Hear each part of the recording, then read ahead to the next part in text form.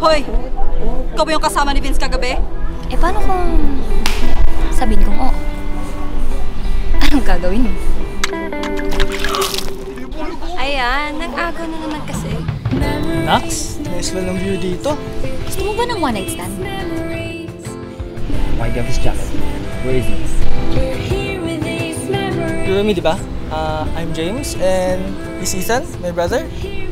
New students na kami dito.